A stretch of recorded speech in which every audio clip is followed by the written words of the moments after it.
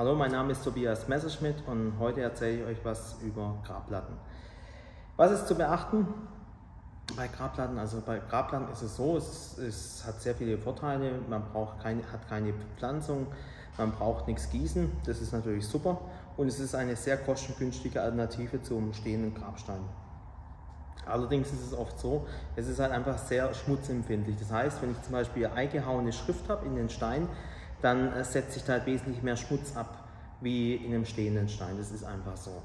Und bei einer Metallschrift, wenn man jetzt praktisch keine Inschrift äh, macht, sondern Metallschrift, ist es so, dass man praktisch die Metallschrift, wenn man da, ähm, die wird oben drauf gesetzt und da jetzt zum Beispiel, haben wir schon öfters gehabt, tritt jemand drauf, ganz unabsichtlich, weil Schnee ist oder was auch immer, weil man die Platte ja auch nicht sieht, dann bricht die Schrift und dann haben wir sogar schon gehabt, dass wir die Platte tauschen mussten. Also von dem her da ist es dann immer ein bisschen dann die bessere Alternative, wenn man die Schrift in den Stein einarbeitet. Da muss man nur die Schrift nachmalen. Das ist ein wesentlich geringerer Aufwand und das Risiko ist wesentlich geringer.